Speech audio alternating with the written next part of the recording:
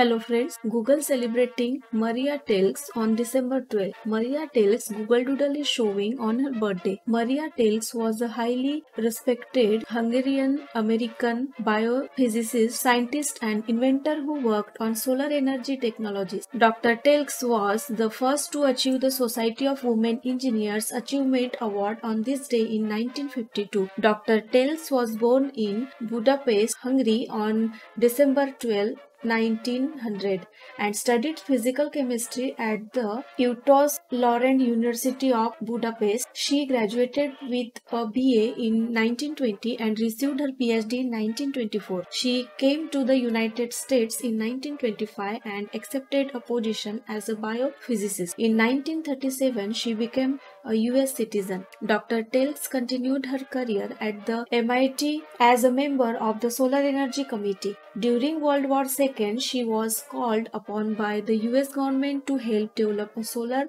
distiller that converted seawater into fresh water.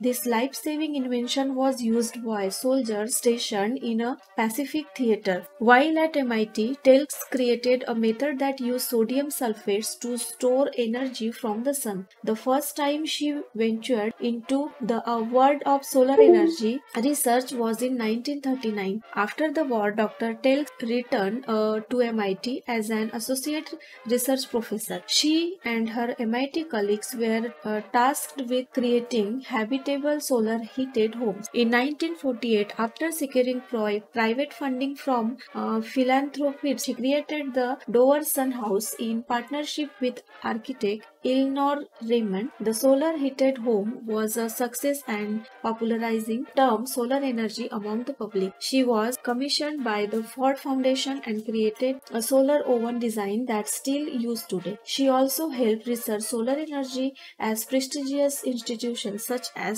NYU, Princeton University, and the University of Delaware. Dr. Tell earned more than 20 patents and worked as a consultant for many energy companies. It's no wonder she is remembered as the Sun Queen. Happy birthday, Maria Telkes. Maria Telkes died on December 2, 1995. We will regularly update on this. Thanks for watching this video.